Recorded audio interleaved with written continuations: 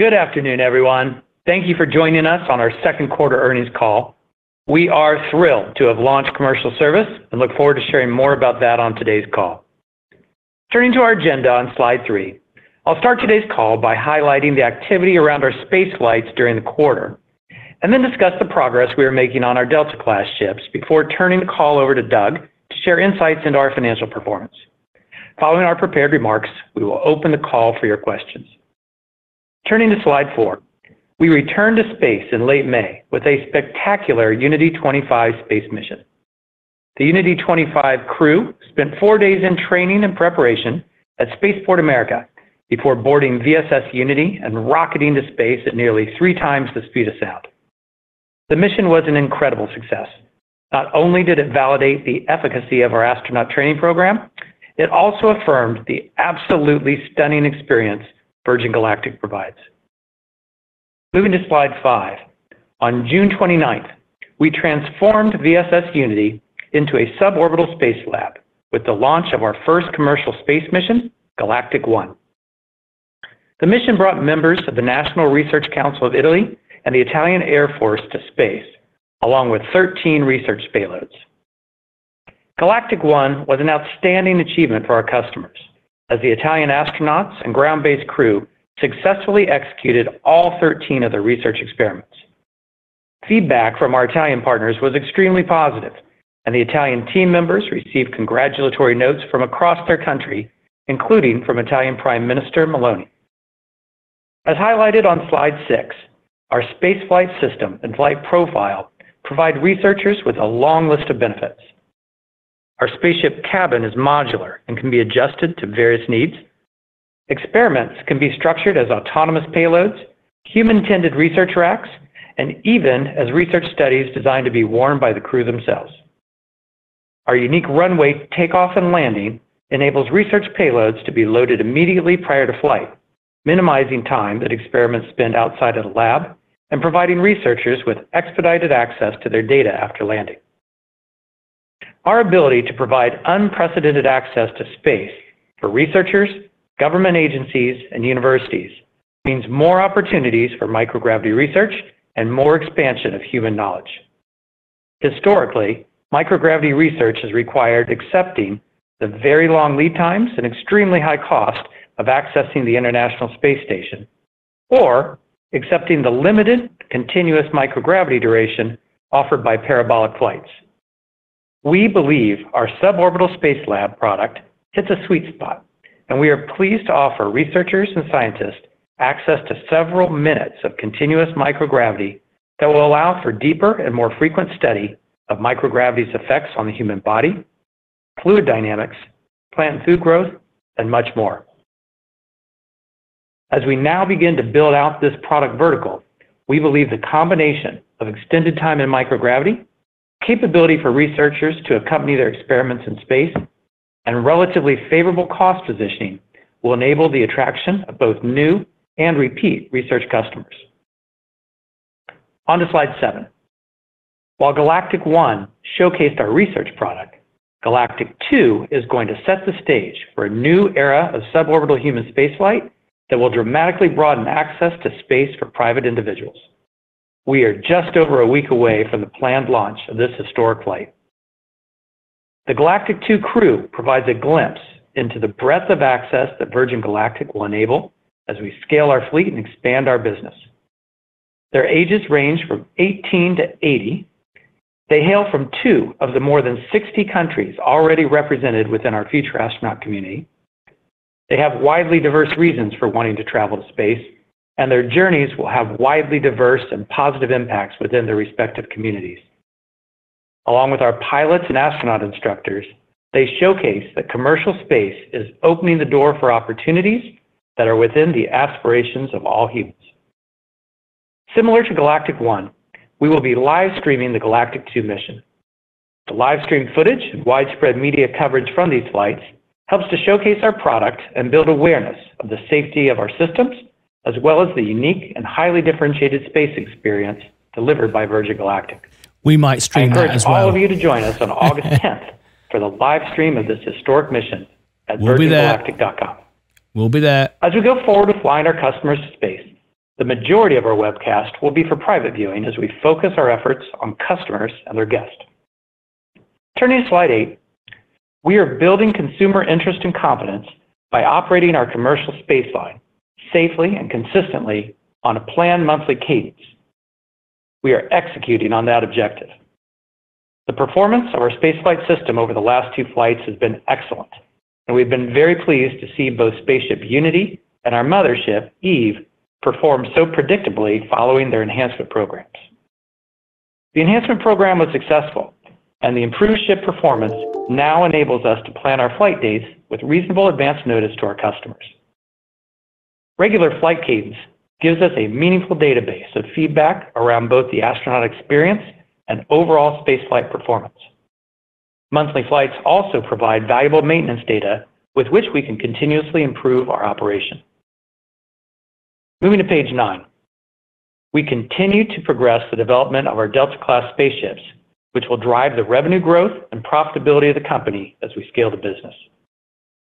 Our production roadmap for the Delta-class remains consistent with what we shared last quarter, with 2023 focused on completing designs for the Delta spaceships, building the required tooling, and beginning fabrication of structural components for the ships. As we move into 2024, we anticipate completing the assembly and equipment installation designs, completing parts fabrication, and initiating the assembly phase at our facility in Phoenix, Arizona, utilizing the subassemblies from our suppliers. We continue to operate on a timeline that supports testing in 2025 in advance of the first Delta ship entering commercial service in 2026. Delta ships have been designed to have a relatively low unit production cost and have material improvement in flight cadence relative to our initial ship, VSS Unity. The Delta development process has yielded some excellent enhancements to the ship's architecture, particularly with regard to manufacturability and maintainability, and we are tracking well against our primary ship performance criteria. Before I turn the call over to Doug, I want to convey how incredibly moved our astronauts have been following their flights. Across the board, whether it be research flights or private astronaut missions, Virgin Galactic is delivering an incomparable experience. It is exciting to be flying to space on a regular basis, and we also know that we have many more milestones ahead of us. We continue to make progress on our Delta-class ships as these vehicles are going to enable us to deliver this same incomparable experience to more customers at a faster rate. With that, Doug, let's turn the call over to you. Thanks, Michael. Good afternoon, everyone. Turning to slide 10 and our financial results for the second quarter. We generated revenue of approximately $2 million, driven by a commercial space flight during the quarter and future astronaut membership fees. Operating expenses were $141 million, compared to $110 million in the prior year period. The increase is primarily attributable to a $24 million increase in R&D costs tied to engineering work for our future fleet. SG&A increased $7 million. We reported a GAAP net loss of $134 million, compared to $111 million in the prior year period, primarily driven by higher R&D costs. Adjusted EBITDA was negative -$116 million in the second quarter, compared to negative -$93 million in the prior year period. Free cash flow was in line with our guidance at negative -$135 million in the second quarter, compared to negative -$91 million in the same period last year. Moving to slide 11. At the end of the second quarter, cash, cash equivalents, and marketable securities on the balance sheet totaled $980 million, a sequential increase $106 million from the first quarter of fiscal 2023. During the quarter, we raised $241 million in gross proceeds as part of our at-the-market, or ATM, equity offering programs. With the start of commercial service, you will see some changes in the presentation of operating expenses when we report third quarter results in November.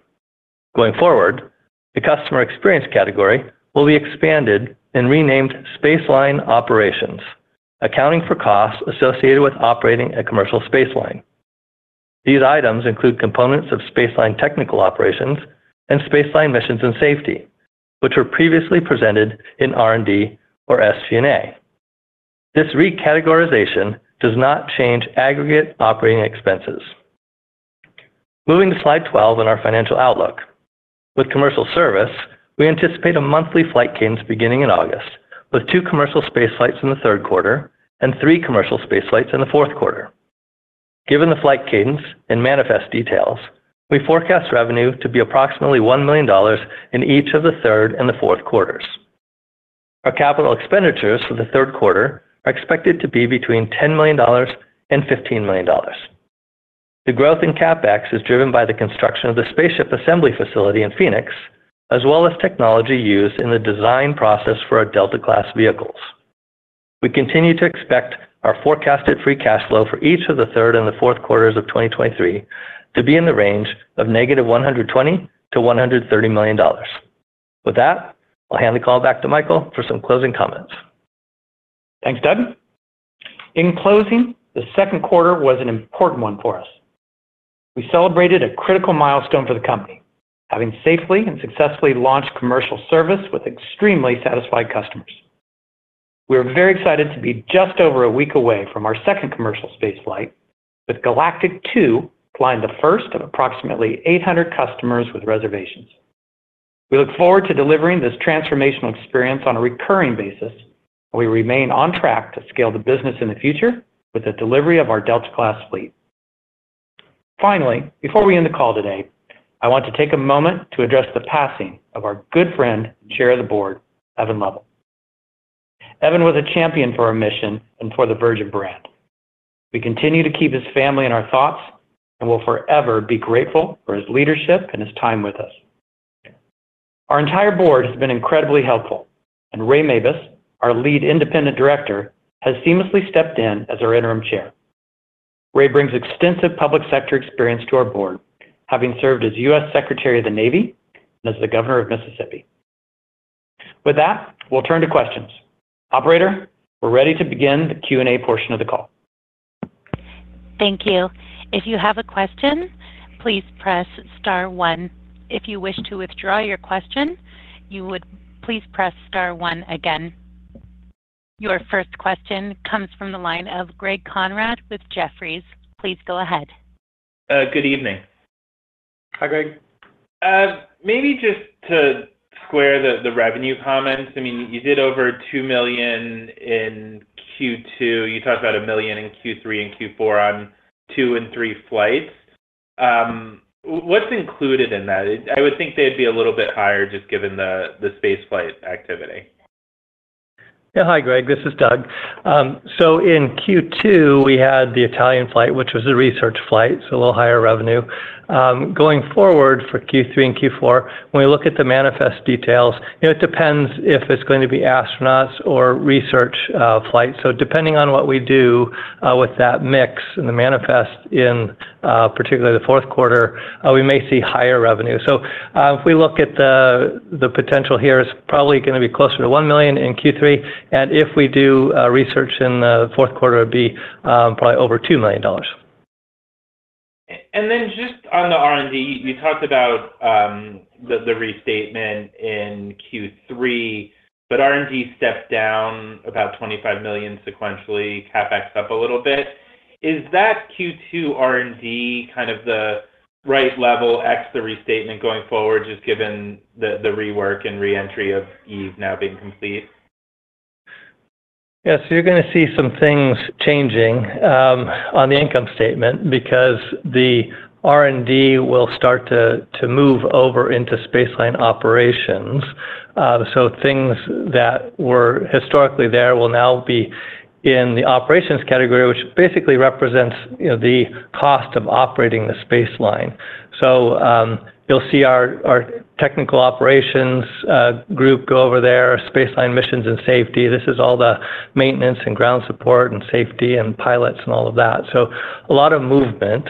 Um, but in general, what you're still seeing without that restatement is R&D is continuing at this level for a while because we're in the uh, the design phase of the Delta-class, and, you know, that effort is continuing for the foreseeable future, you know, into uh, 2024. So, you know, without that reclass, you'd still see the R&D uh, progressing um, at these similar levels. Thank you. Your next question comes from the line of Oliver Chen with TD Cowen. Please go ahead. Hi, it's Tom on for Oliver. Uh, just a question on um, how ticket sales are trending, um, especially after the most recent flight, and then how you expect that to trend forward. Um, and then additionally, if you could just remind us on how long the lower-priced uh, tickets are expected to last relative to the price increase. Hey, Tom. Uh, Michael here.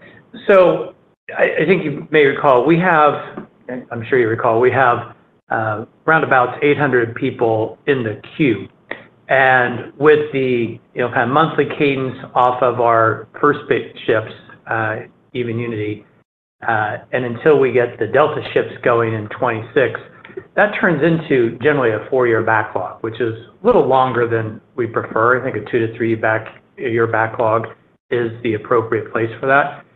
So you're going to see us, I'd say, use these early flights to add confidence in our system, to add confidence in the safety of uh, human spaceflight uh, on suborbital journeys, uh, to see, I think you're going to hear excitement, really impressive excitement from the people who fly and as those stories come back. And that combination is purposeful for us because it will build confidence in this new industry, confidence in what this can be, and aspirations and excitement to come. And so we're going to let that build a little while because we have a backlog that's a little longer than we would prefer. And then as we start to get a little closer in towards our Delta ships uh, ready to come online, we will open up in successive tranches of uh, sales. And I think you'll see that from us.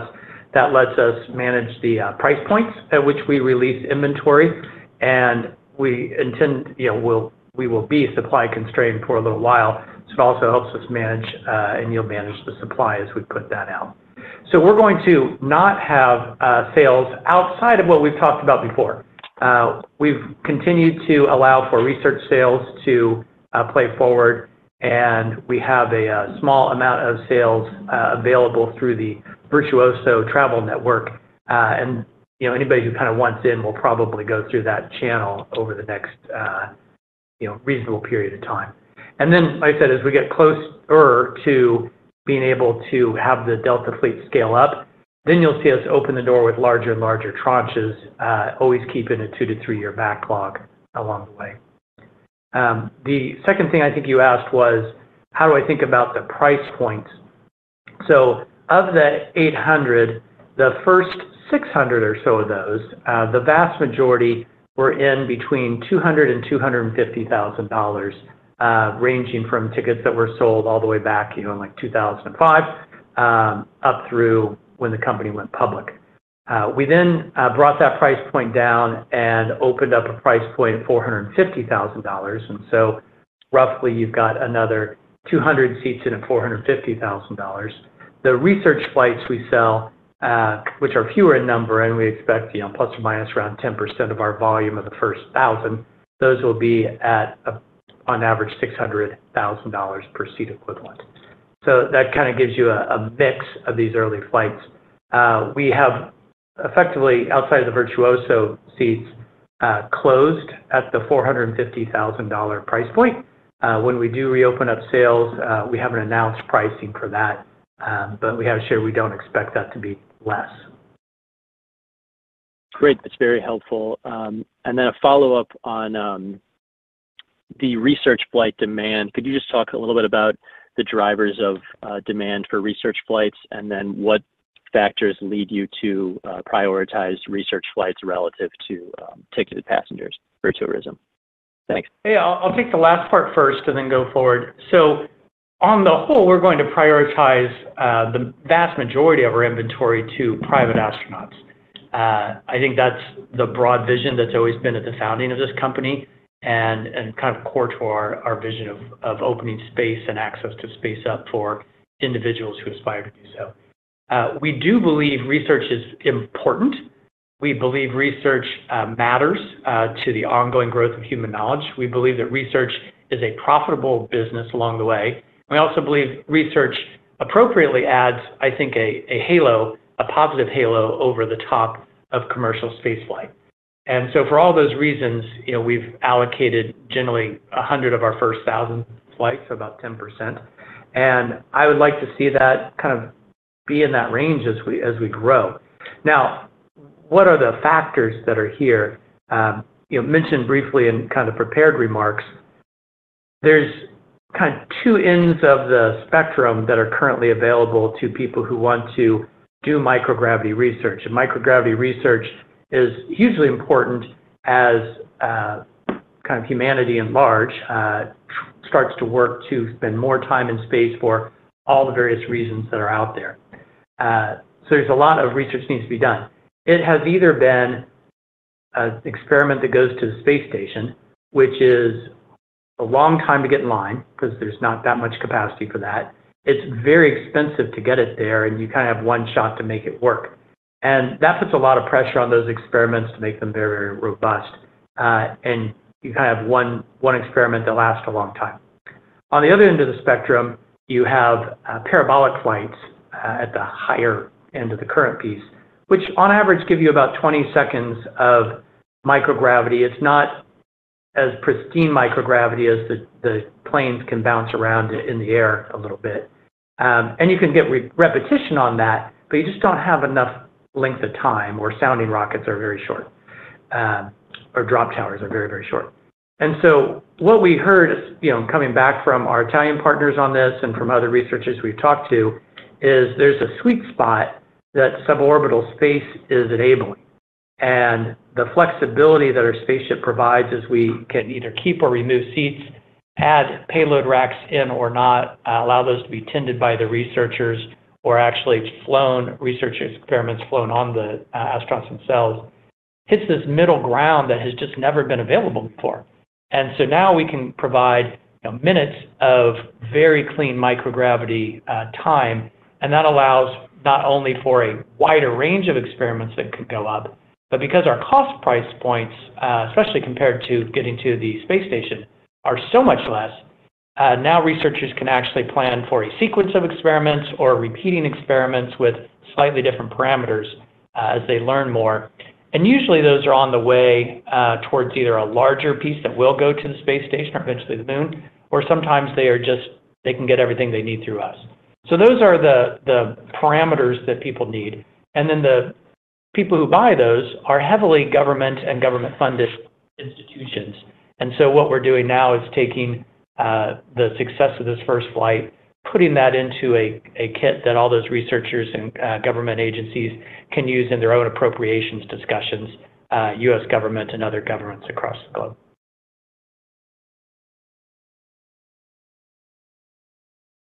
Your next question comes from the line of Peter Osterland with Truist Securities. Please go ahead. Hey, good afternoon. I'm on for Mike Ciarmoli this afternoon. Appreciate you taking the questions. Um, so first, I just wanted to ask, uh, appreciate the color you've given on pricing, but, uh, just kind of following up on that. In this time frame where you're operating just with Unity, is $500,000 per flight about what you're expecting on average for civilian flights through 2025?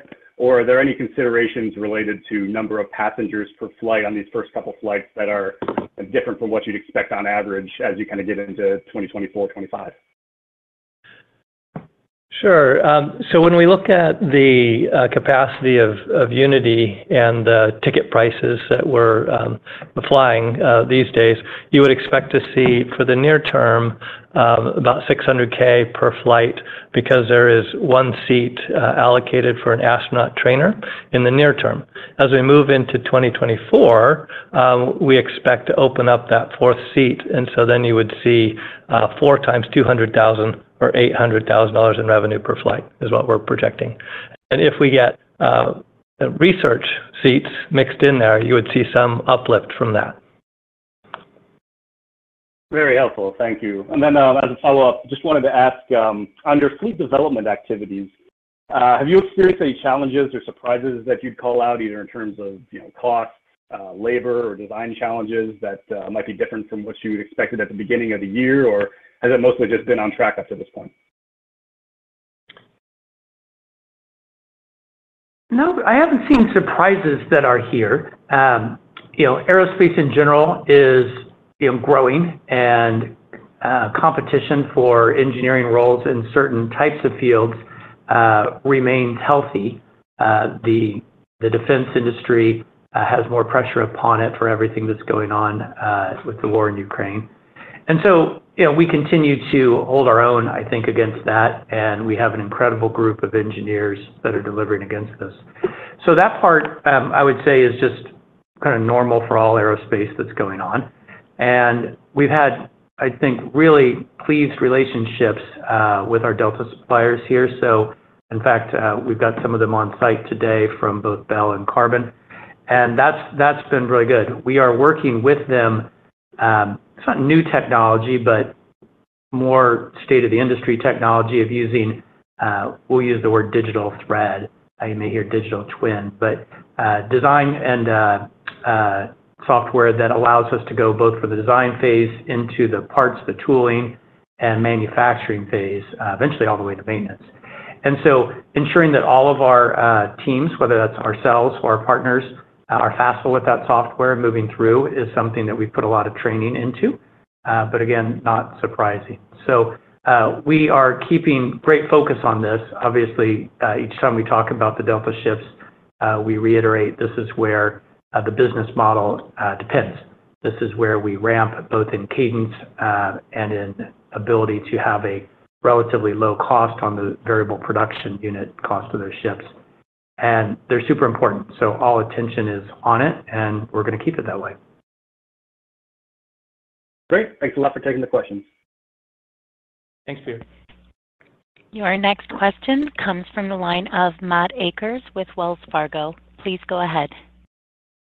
Yeah. Hey, guys. Good afternoon. Uh, thanks for the question. I wanted to ask um, just your latest thoughts on Imagine, and I think you've described that as kind of option, option value that you could activate at some point. You know, now that you've got Unity flying, is that something you could look to exercise at this point? So Imagine is, as you said, we've kind of kept it, you know, as an option for us, and it's going to remain as an option for us. Uh, the picture when, you know, page nine, I think, of the accompanying deck, uh, which was talking about our uh, Delta-class ships, that image is actually an image of Imagine, and we use it because Delta is derived from that base. And there are many things that we've already been able to benefit from in evolving the production model ship from Imagine. Um, the reasons that we put it, you know, kind of off to the side is because the engineers that we have focused on this early design phase for the Delta ships are the same types of engineers that we would have uh, through the testing phase um, of Imagine. A lot of flight sciences, a lot of avionics work, uh, areas like that. And we need those people focused upfront on Delta so that we can get the momentum of Delta into the supply chain that we've built. At the time when those key engineers have kind of completed that, and we're kind of well down the path towards Delta, uh, the production, the build and production of those Delta ships is pretty quick. And the way in which we are um, not only going to learn through flight test, but we're also building, as you would expect to see in a rapid commercial aerospace development program, we are building. You'll hear the words Iron Bird or a static test article. We're building uh, systems that are on the ground that can allow us to very rapidly move through design elements. And, you know, we're wind tunnel testing the Delta ship, uh, actually this month. So a lot of that allows us to have a relatively abbreviated flight test program. And so when you hear us, we're doing flight testing in 2025 and allowing the first Delta ships into commercial in 2026, we're kind of at a point where they're almost outpacing Imagine at that point. So we are going to keep Imagine, right? It's still here with us, and uh, we have it uh, secured and ready, uh, but it is likely going to be used in service of the Delta program, as opposed to, "Hey, we're gonna turn our attention over to Imagine and get that going." And again, that allows us to anchor our technical operations, our flight support and mission control group on one consistent uh, vehicle, which is the Delta ship. And then as we have multiple of those ships, uh, it's the same engineering base, it's the same maintenance manuals, it's the same program, and that will allow for a more efficient operation. Got it. Okay, thanks for the color. I'll leave it at one. Thanks, Matt. Your next question comes from the line of Kristine Liwag with Morgan Stanley. Please go ahead. Hi, great. Um, hey, guys. Good afternoon. Hi, Kristine. Um, you mentioned the ability to flex cash burn by controlling the timing for next-gen motherships. Can you uh, provide any color to, you know, your current thinking around the timeline?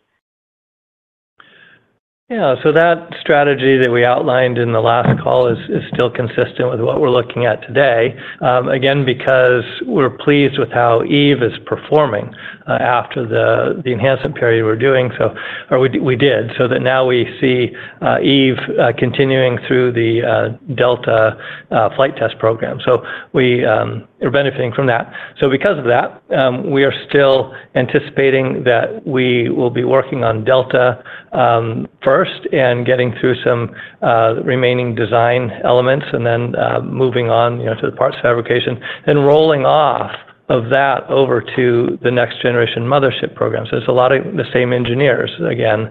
So it allows us to stagger the engineering resources and the focus of the company um, from one program to the next. So, um, that would be in, um, you know, the following year. So 2024 is when you'd see the mothership program um, start to pick up um, more heavily as we roll off of the uh, initial phases of the Delta program.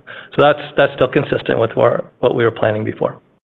And then just, it's Michael, Kristine, just, you know, final continual thought on that is, that allows us to bring these uh, additional motherships in at this kind of sequence when we're building the volume of our Delta fleet. So that way, right about the time that Eve will, you know, tap out from a capacity standpoint, uh, we would be bringing on new motherships at that point to manage the scale of the fleet. Great, thanks. And then also, um, after uh, you guys uh, changed your pricing structure to the 450,000 for the passenger flights, and then you've got $125,000 in a fully refundable deposit, can you discuss any cancellation requests that you've received so far? Um, and how sticky has been uh, the orders that you guys have received to date? So we have a limited number of cancellations, kind of year-over-year. The largest was, uh, not unexpectedly, way back in 2014. And we have not seen an, I'll call it a, out-of-line uptick in any of that. Where I get the most questions on that particular topic, uh, was following, the Titan experience. And, "Hey, did you see, uh, any falloff associated with all the media around that?" Uh, we did not, in fact, um, and we've heard from many of our future astronauts, they are, uh, very clear, especially those who have been with us a long time, about, everything that goes into the safety of this platform. And they were able to talk that through with, um, themselves and others. And so we've not seen any dropouts due to that, either. You'll see some people drop for, not often, but sometimes it'll be for economics. Uh, sometimes it can be for medical reasons, uh, or health reasons. Um, and then that's why you've heard us say we've, you know, keep some house seats uh, there. And so what we're doing is generally replacing those. As you know, if somebody falls off, we can replace, you know, onesies and twosies back on the way. So hopefully that gives you some color window into those. Okay, great. Thank you for the color. Thanks, guys. You're welcome. Thanks, Kristine. Your next question comes from the line of Michael Leshock with KeyBanc Capital Markets. Please go ahead. Hey, good afternoon. Um, I wanted to start on uh, the cash balance that you're at today. And just as we think about some of the optionality that you have with your common stock offerings, what level of cash and marketable securities are you comfortable with? Um, and do you expect to maintain that position of around $1 billion uh, for the foreseeable future? Yeah, we're very pleased with um, the balance sheet right now and the strength there, and our ability to have access to the capital markets. It's been great. So, um, yeah, we are approximately $1 billion today, and we like where we are. Um, this gives us, you know, the flexibility to invest in these programs that we see are gonna generate really high returns and, uh, you know, gives us a pretty good runway. So, uh, we like where we are, and we fully intend to keep our balance sheet um, strong um, throughout this, you know, this uh, phase as we move towards the ramp of the Delta class. So we don't have a specific minimum cash balance, but we do intend to keep it strong. Then following up on the Delta class progression, you had mentioned you're on track with the development process, but wanted to ask a bit more specifically, since you previously expected to complete design and tooling, um, and then begin parts fab this year. Is that still the near-term expectation, and what has been accomplished to date? Yeah, so that is still the expectation. You know, tooling will sequence uh, before parts, and both of those sequence, of course, before the subassemblies can be created and then sent over to us. And the way we're rolling that um, a bit in a sequential pattern, we'll have uh, tools completing this year, some parts being built on those tools, uh, tooling probably finishing in early next year. So the tools that are needed later in the process Uh, come on, and then the parts that are needed later in the process come back in. And all those need to be done because, you know, uh, probably second half of the year, we will be bringing those into uh, Phoenix for, you know, kind of starting the final assembly process. So that all kind of remains on track and moving as we expected through there.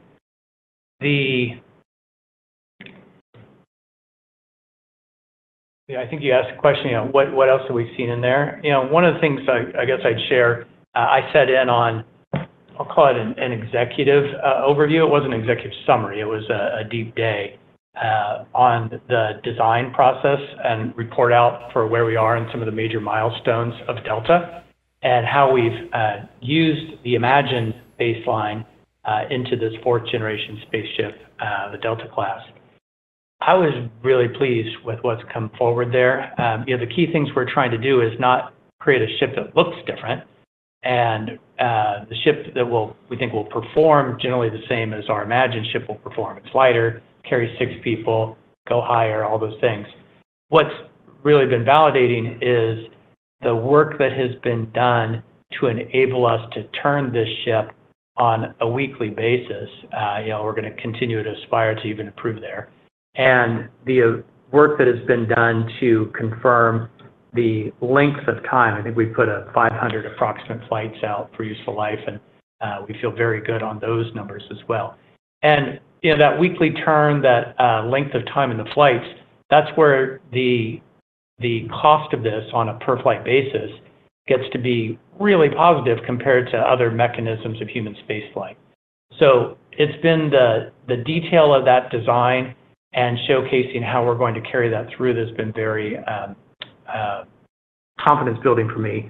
Uh, I mentioned briefly just a little bit ago, we are putting the right energy into doing this. These are not going to be one-off ships. So we are developing, you'll hear us use the word, a Copper bird. Uh, we're actually doing that in our engineering headquarters. It gets located in this week, and that will have us running through all the avionics and uh, avionic systems, electrical systems, that we can just cycle and cycle and cycle in advance. We'll be building an Iron Bird to test out the uh, mechanical systems that go through there and running and running and running and running those. So we're not having to wait until we get into flight test or actual use to understand um, uh, the margins and the maintenance intervals of our parts. We're going that through all the way through. We'll be building a static test article uh, for our ships and being able to take that to an, you know, kind of an ultimate limit load to uh, confirm uh, all the maintenance intervals that we're putting in. So those things are all very confidence building for me as I watch the diligence with which our engineering and program teams are putting these together. Great. Thank you. Your next question comes from the line of Myles Walton with Wolfe Research. Please go ahead. Thanks. Good evening. Hi, Myles. Michael, I was hoping you could um, talk a bit about the engagement plan after uh, Galactic 2.0, and in the frame of reference, I think you mentioned um, these would start to become more private experiences. And I'm just curious, how do you maintain the visibility that's going to be required to create and sell the experiential side of this while keeping it intimate, private, Um, what what basically the customer is paying for?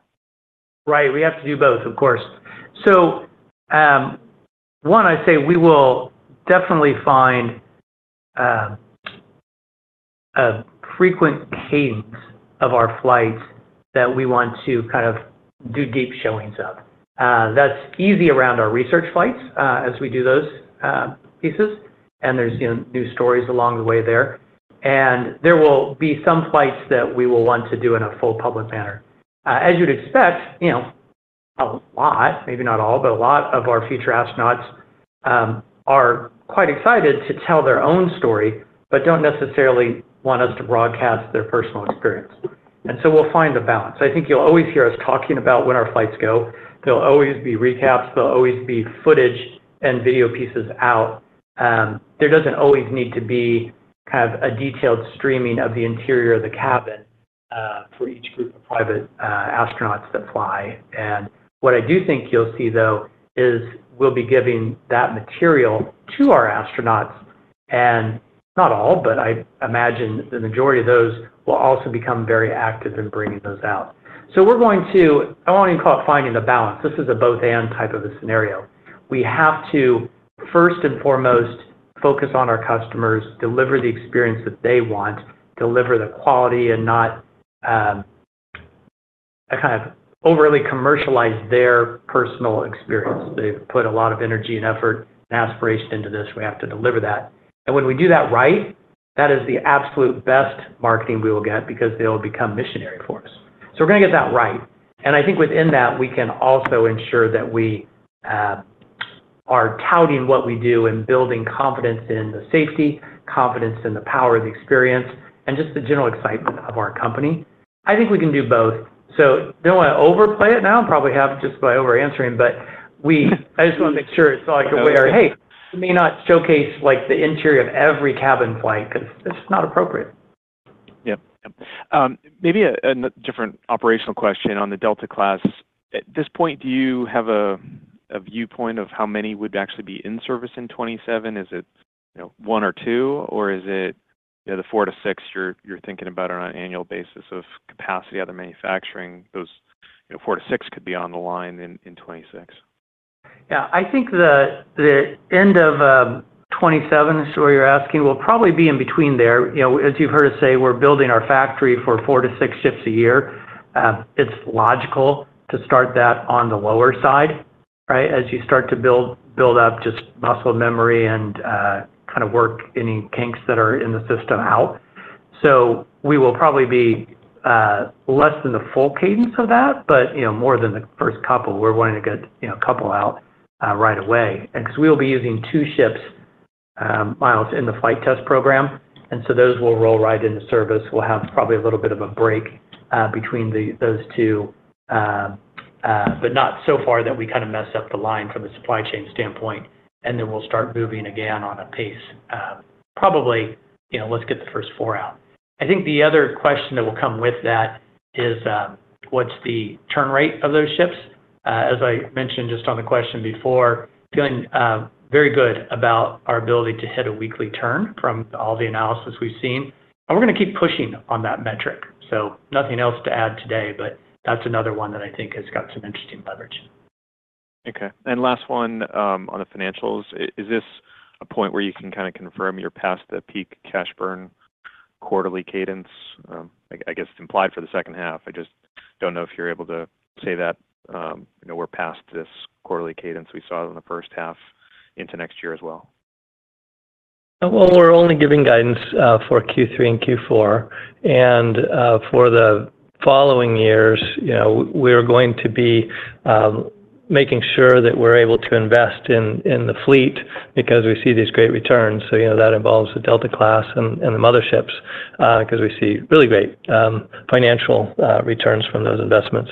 So we're going to be um, leaning into that when possible. Um, but if necessary, you know, we can uh, control that pace, and we could slow that spending and keep that level down. Uh, but we think uh, the returns are very attractive, and shareholders will be supportive of us uh, really trying to build the fleet um, at a rapid rate.